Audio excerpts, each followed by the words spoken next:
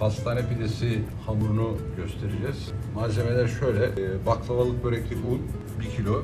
5 gram yaş maya, süt, zeytinyağı, tuz kullanıyoruz. 350 mililitre e, süt, 300 mililitre su, 75 mililitre de zeytinyağı koyduk. Evet, mayamız 5 gram, yaş maya. Kalıyı batırıyoruz içine.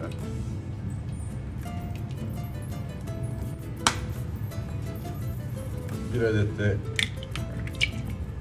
yumurta atıyoruz. Şimdi bunu maya içinde erisin diye bir 5 dakika kadar yüksek devirde karıştıracağız.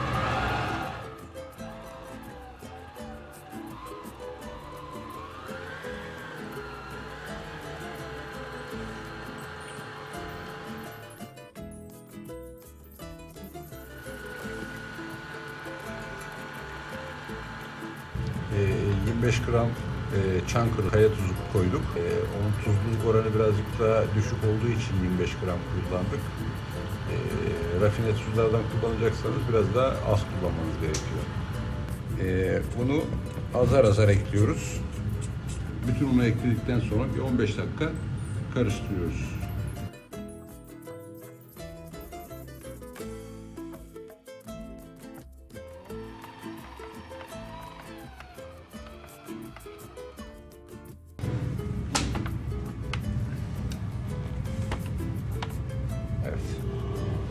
15 dakikada böyle karıştırdık.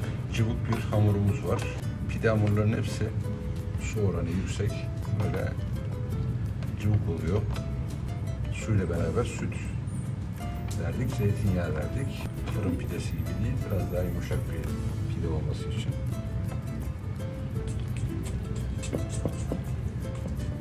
Tezgahı hafif unluyorum, çok hafif.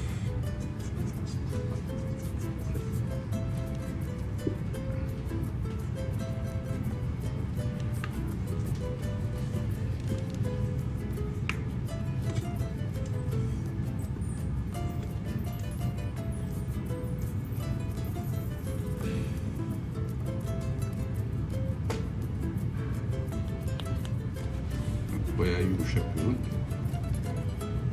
Çok hafif üstten şöyle az un. Şöyle elimizi çevireceğiz ve dinlenmeye bırakacağız.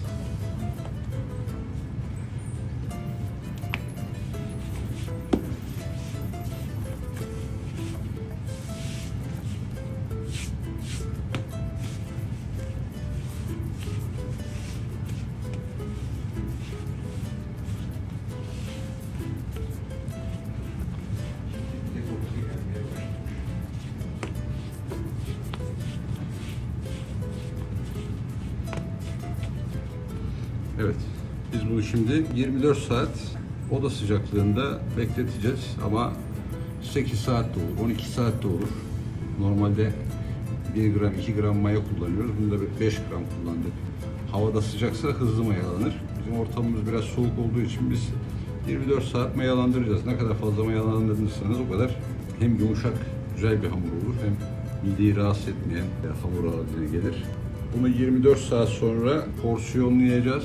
420 gramlık 4 tane pide çıkartacağız. Yani dörde böleceğiz. Tepsi mayası dediğimiz yine bir, bir saat, iki saat kadar tezgahta mayalanması gerekiyor. Eğer instant mayalardan kullanıyorsanız, tabii instant mayalar çok hızlı mayalanıyorlar. Dolayısıyla 24 saat, 12 saat gibi sürelerde mayalamaya beklemeden 6-7 saatte e, hamurumuz tamamen mayalanmış olur. Bir paket kadar instant maya kullanılabilir. Hamurumuzu alıyoruz. Streç veya kapakla kapatıp mayalandırmaya bırakacağız.